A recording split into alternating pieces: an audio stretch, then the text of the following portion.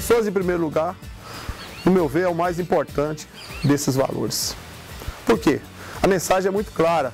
A empresa fala: vamos fazer tudo o que for possível para cuidar da saúde e da segurança do nosso funcionário e da comunidade onde estamos inseridos. É, o Magalhães é um, é um funcionário que ele sempre prezou por pessoas em primeiro, primeiro lugar. Magalhães, é com muito prazer que nós entregamos esse prêmio aqui na nossa unidade e te agradecer né, por essa dedicação que você tem dado ao nosso, ao nosso site. Obrigado.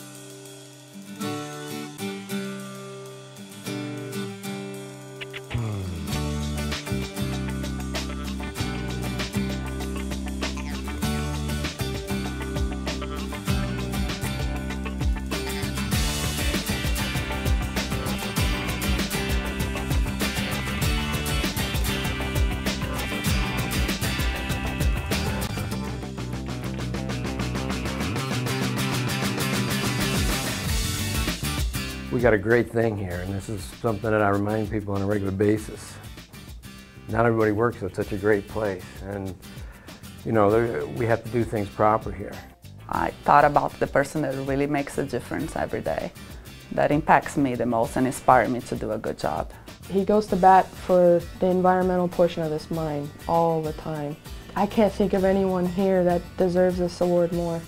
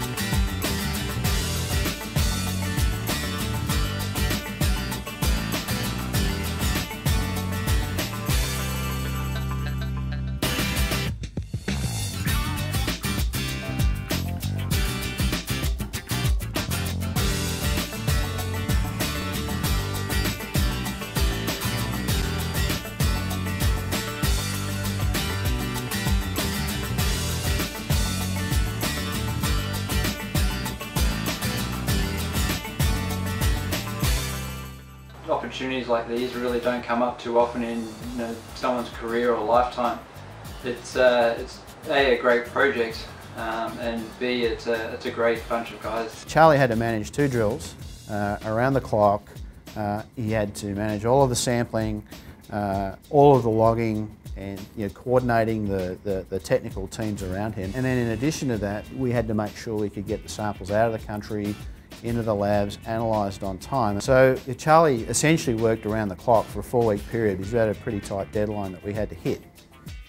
He's, he's a quiet achiever and so he makes no fuss, there's no nonsense and he's one of the most highly productive guys I've, you know, I've ever come across. He just gets on with the business.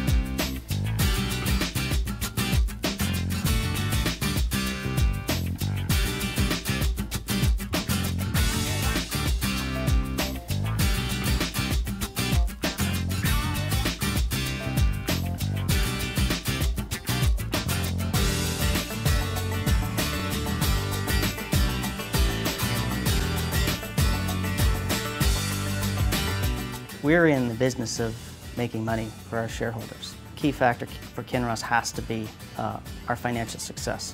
If this was my billion dollars, if this was my money, how would I spend it and how would I build FDN? And I think if uh, that, that's, I guess, the way I try to stay focused. John is talented. He's always looking for innovation. And at the end of uh, feasibility, John was able to increase the total return of the project by about 3%. For people familiar with projects, this is a major contribution.